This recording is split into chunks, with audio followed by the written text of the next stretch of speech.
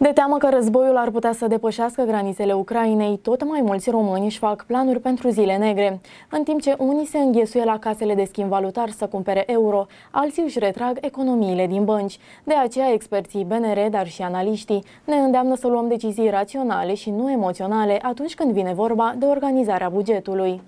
De teama unei crize economice, dar și a extinderii războiului de la graniță, românii fac cozi la casele de schimb valutar. Deși cursul interbancar nu înregistrează mari fluctuații la casele de schimb euro, depășește pragul de 5 lei la vânzare. Da, și eu mi-am scos acum de la bancă. Pentru că nu știi ce se întâmplă și să ai în casă cât de cât o rezervă. Că dacă e ceva, te mai duci la bancă atunci, da. Deci să fiți pregătită. Da. Asta e, ce să facem. Se teamă de un posibil. Mai ales că sunt singură și n-am pe nimeni, normal că ți-e frică, mai ales când vezi ce se întâmplă în lume cu nenorocitul ăsta. Acum depinde de fiecare cetățean. Ce are de gând cum să investească sau ce să facă cu ei. Depozitul e oarecum uh, sigur în România, cel puțin deocamdată. Mai târziu, numai Dumnezeu știe ce va fi.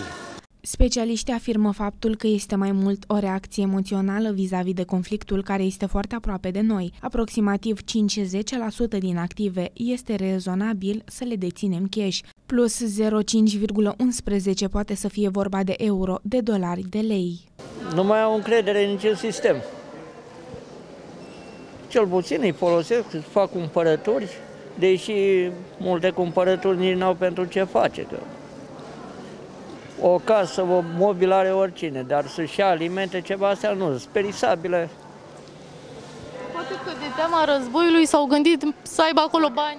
Uh, poate alții s-au gândit din lei să-i transforme în euro, poate au uh, stabilitate mai bună decât uh, leu. Variante fiecare face cum gândește. Deciziile luate impulsiv la panică, la frică sau la stres nu ajută pe absolut nimeni. Indiferent de cum va evolua această perioadă, retragerile de cash mai mari, în special în valută, se fac cu programare cu cel puțin o zi înainte.